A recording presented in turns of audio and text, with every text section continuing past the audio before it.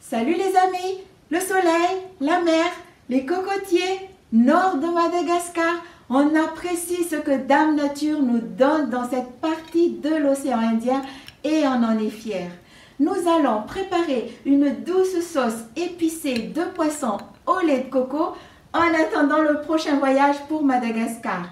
Et au risque de me répéter, pensez à vous abonner si vous ne l'êtes pas encore parce que c'est la forme d'encouragement qui me va droit au cœur. C'est parti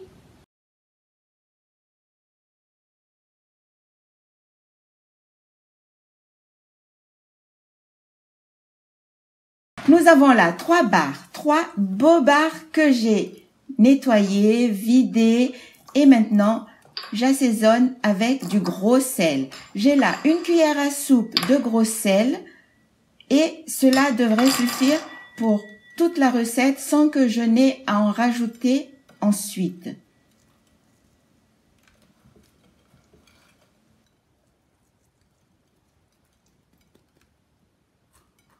Maintenant, je vais saupoudrer les poissons d'ail moulu et comme ça, je n'ai pas besoin d'avoir recours à la maïzena ou à une farine quelconque. Et l'avantage avec l'ail, c'est que ça parfume en même temps. Et je m'arrange pour en badigeonner toutes les parties du poisson jusqu'à l'intérieur. Et c'est parfumé à souhait.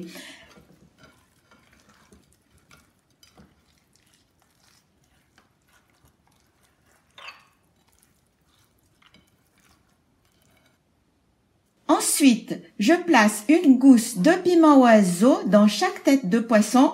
Vous savez que le piment oiseau est, est très fruité. Évidemment, c'est du piment, ça pique.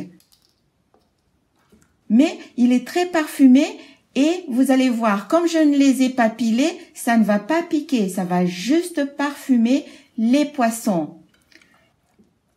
Et maintenant que c'est prêt, on va passer à la première étape de cuisson parce que ça va se faire en plusieurs étapes. Comme ma poêle n'est pas assez grande, je coupe les poissons en deux et je place les morceaux de barre assaisonnés de sel et d'ail moulu dans la poêle.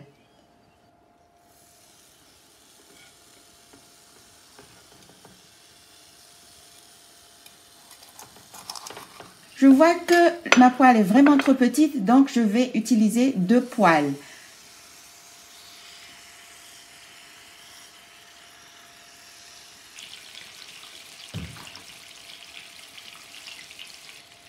Ah, j'ai failli oublier. Il est préférable d'inciser la chair des poissons. Comme ça, ça cuit mieux.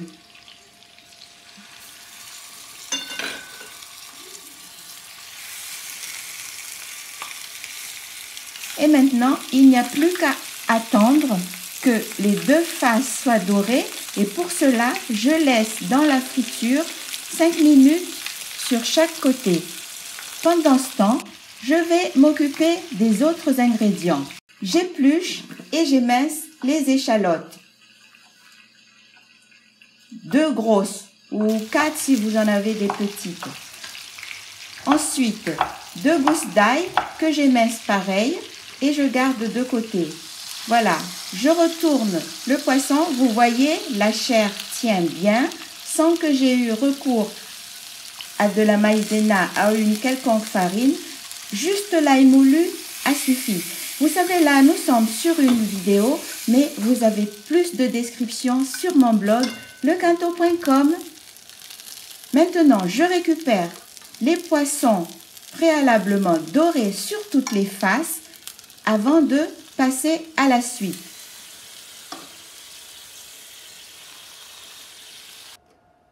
Dans une sauteuse propre, je réchauffe de l'huile à nouveau, juste un peu, histoire de faire revenir les oignons. Là, ça devient sérieux. On a le lait de coco, les tomates cerises, les épices et les oignons. Allez, donc, je commence par faire revenir les échalotes dans cette huile et je remue jusqu'à ce qu'ils soient assez translucides. Là. Ensuite, l'ail émincé et je remue bien.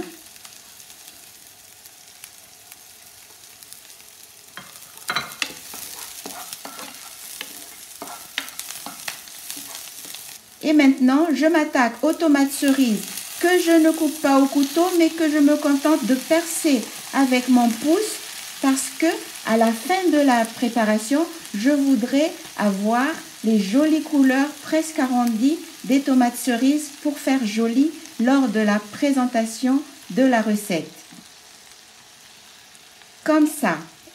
Je mélange bien à peine. Ensuite, j'ajoute des feuilles de laurier et le curry de Madagascar. Là, j'ai une bonne cuillère à soupe de curry de Madagascar.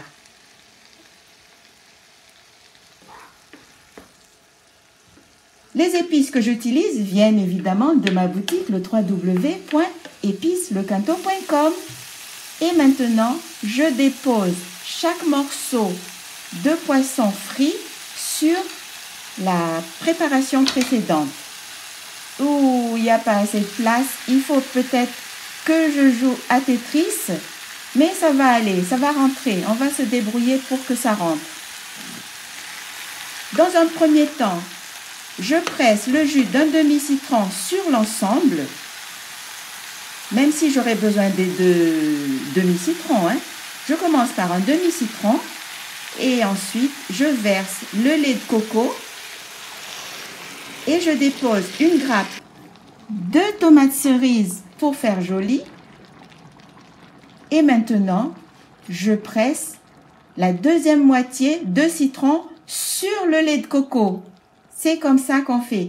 Et enfin, une pointe de cuillère à café de poudre du zeste de combava pour révéler l'agrume de la recette. Et je laisse mijoter à feu très doux pendant 15 minutes. J'ai choisi le poisson entier parce qu'il donne plus de goût dès lors qu'il est mijoté à petit feu. C'est comme pour la recette du poulet au coco où le choix du poulet avec os est pertinent pour en optimiser la saveur. Pour voir la recette du poulet au coco, cliquez sur le lien que je vous ai mis en haut à droite de votre écran. Alors, voyez, au bout de 15 minutes, les tomates sont un peu flétries, le lait de coco et les poissons se sont mutuellement donné de la saveur et pour terminer, je saupoudre de ciboulettes du jardin que j'ai préalablement ciselées. Là, c'est appétissant. Je commence à avoir l'eau à la bouche. Vous voyez, c'est bien présenté, le poisson tient bien, la sauce est parfaite, c'est juste qu'il faut et je vais déguster ça en bon malgache avec du riz nature bien sûr. Waouh, c'est tout beau, c'est tout bon, j'ai faim. Alors, vous voyez, la chair du poisson reste ferme, même si c'est cuit, et c'est tendre et moelleux. Et voilà, un petit peu de tomates cerises dessus, et à nous la dégustation.